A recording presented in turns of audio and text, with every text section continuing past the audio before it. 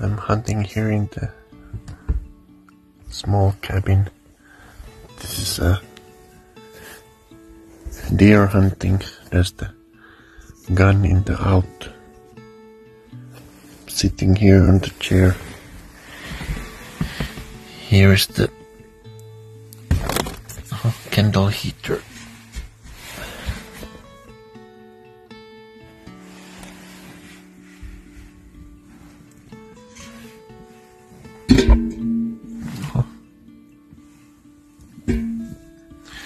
Up pretty well.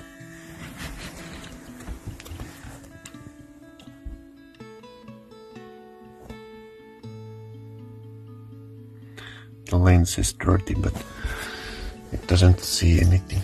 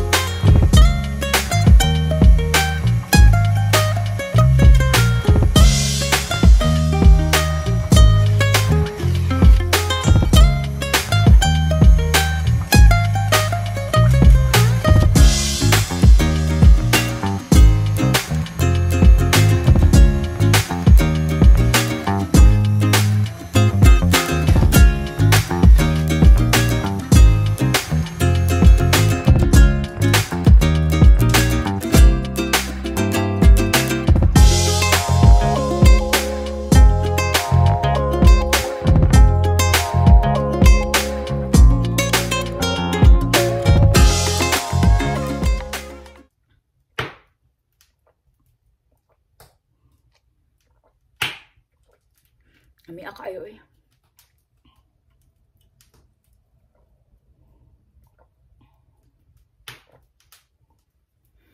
Ito pambabaon ko to bukas kasi long day ako.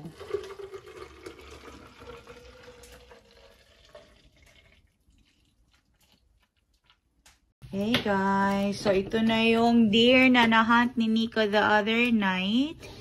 So, tinanggalan niya na ng skin doon sa bahay ng kanyang cousin. I think you shot it this side, Daddy, no? This is the side where you shot it. Okay. But, uh, yeah, ito na yung karne, guys. So, dito na nilagay ni, ni Nico sa malaking bag kasi wala naman kami malaking lalagyan talaga. Estimatedly, how much or how many kilos is this? Siinä 20. Tai en mä tiedä, kun tässä on luita, niin... Yeah, more No, than 20 kilos, no, including no, the bones, No eh, niin, no on siinä 20 ainakin. Yeah. This is about uh, more than 20 kilos, guys. Kasali na yung bone. Pero usually, uh, karne lang talaga ang kinakain namin. And yung bones is tinatapon namin siya. Kasi yung mga fins talaga, karne talaga yan sila. Hindi talaga sila masyado kagaya sa atin sa Pilipinas na may bones. Eh, nasanay din ako na ganun. Kasi kapag nagluto ako na merong buto, hindi talaga yan kakain si Nico. Kaya, yung karne lang. So, yung buto is hindi rin kakainin ni Pimo. But if there's like a big bone, Pimo can eat that one. But usually, tinatapon talaga namin kasi hindi din maganda sa tiyan ng aso namin na nakakain siya ng buto. Tapos, pag na-crush yun is magiging ah, maliliit siya na parang tusok-tusok ba. So, hindi maganda sa stomach. So, ito na yung karne. So, lilinisin na namin to today. Tapos, proportion, ilalagay sa freezer. Maybe I give that uh, couple. Yeah, we can give to Kapo some bones. Give to me, yes. Uh, that I let them melt first. Yeah, I'll give some to my friends too. We have lots of meat. Mm. Are you happy? Se on nyt hyvä. Mutta it's still lots to work. Lots of work to do to clean it up. Mm. Yung fat pala nito guys, ang ginagawa namin is ginagamit namin siya para sa mga birds. So yung birds will have their fat this winter para source of ano din nila, nutrition and yung energy. Yan, yan oh, kasi hindi naman namin kinakain yung taba guys. Hindi kami masyadong mahilig sa mga ganyan. Um, yun nga, sa ibon yan siya mapupunta. Dito sa Finland, may mga binibenta din talaga ng mga fat para sa mga animals or sa mga ibon para kainin nila sa winter. So, hindi na kami bibili, di ba? Libre na yung pagkain din nila kasi may, meron pa rin yung fat guys, kahit na forest animal ito.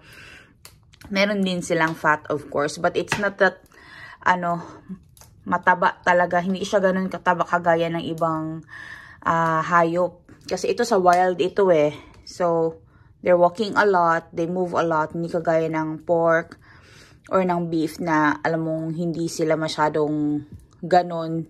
Uh, nag-work hard na mag, ano, paikot-ikot maghanap ng food. So, ito, this is libreng karne. Ayan guys, gagawa ako ng pambaon namin. Ito yung horse na ano oh, sausage. So yung horse sausage pala guys, hinaluan na yan siya ng pork fat kasi yung horse, wala talaga siya masyadong taba. So para hindi siya dry, nilagyan siya ng pork fat. So pinagawa ito doon sa uh, Vaxu, yung another uh, place dito din. Sa may, dito lang, malapit-lapit lang din, mga 1 hour. Pinagawa ito doon. And ito yung magiging palaman ng aming tinapay. Napakasarap nito guys. Napakasarap ng horse meat. Akala ko nga before na ano, weird yung kanyang lasa pero hindi pala. So, gagawa lang ako ng pambaon ko tsaka kay Nico para bukas ready na kasi meron akong 15 hours na trabaho bukas guys.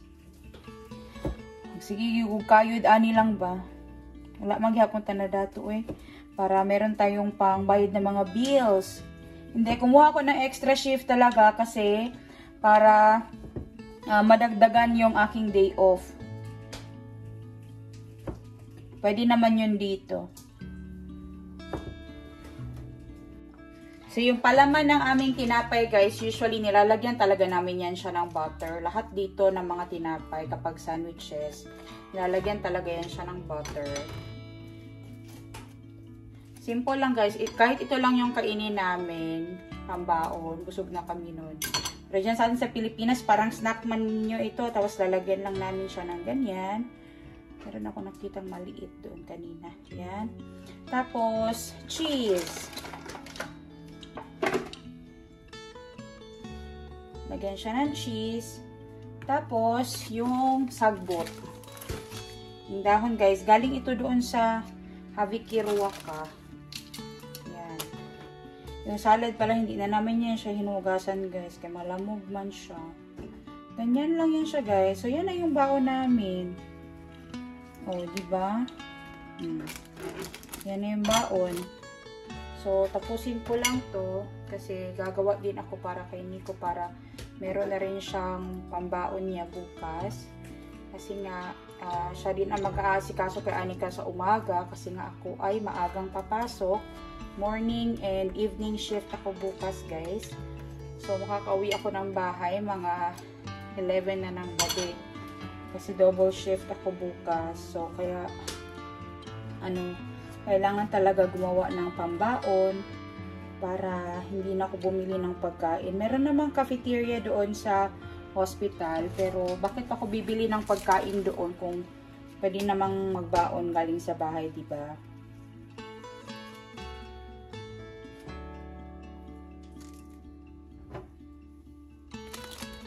yung aking baon bukas. Gusto ko bukas ng uh, Valia Lepa or yung light bread igagawa ko rin si Nico ng kanya. So, ito yung Ruiz Lepa, guys. Yan, yung itsura ng Ruiz Lepa, oh. Ganyan siya. Ruiz Lepa ito. And, meron din siyang halo na oats. So, ganun lang din. Lalagyan lang din siya ng butter. Napaka-simple lang, guys. Wala nang mga char-char ek-ek pa na kung ano-ano. Ganito lang talaga ang gumawa ng tinapay dito sa Finland, yung mga pambaon. Wala nang daghan-daghang RT-RT.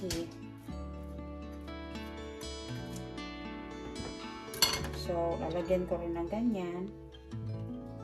Ito kay Nico ito. Ito, ito yung baon niya bukas. Ay, cheese pa pala. So, yung cheese hatiin ko kasi masyadong ano, malaki. So, lalagyan ko ng cheese yung kanyang tinapay din. Yan. Yan, so, ganito lang kami guys, every day, ganito lang talaga din yung mga baon namin. Lami ba guys? Lami ni siya guys, as in, lami. Lami kaayo ni guys. And, mo na namong baon. So, tapusin ko lang to. And kararating lang din ni ko galing ng trabaho. So, magla-lunch na rin kami maya-maya. Si Anika parating na rin yung galing ng school. So, ito na yung magiging uh, baon namin bukas. Isa dito is kay Nico. Sa breakfast namin to guys. Tapos isa is pambaon niya. Tapos ito yung ibabaon ko uh, para sa work ko kasi mahaba ang trabaho ko bukas. So, gagawa na lang din siguro ako para sa dinner. Pero, hindi na kasi magkakasya sa ref namin kapag uh, gumawa pa ako for dinner.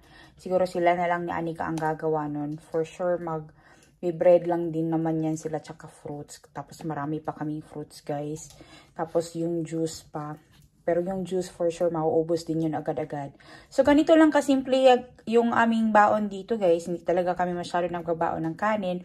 Pero pag may mga nakuha naman akong food or nabili na food doon sa Havi Kiruwaka na uh, yung uh, iwa-warm na lang siya na food, yung ready-made na siya.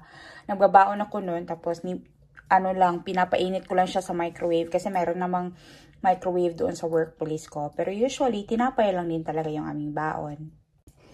Napakasimpleng pagkain lang yung aming pagkain talaga or yung aming baon. Kasi um, hindi din kasi kakayanin ng oras guys kapag uh, magluluto pa ako ng different kind of ano pang ulam kasi nga nakakapagod din. Tsaka mas pinipili ko rin talaga na magpahinga kapag day off ko. Pero pag meron din namang time, nagluluto ako. Pero usually, tinapay lang din talaga yung aming baon. Pagkasimple ng, ng pagkain namin, guys. Pero it's enough to nourish us and mabusog kami habang nasa trabaho. Si Anika naman is hindi siya nagbabaon guys kasi sa school libre ang pagkain. Go!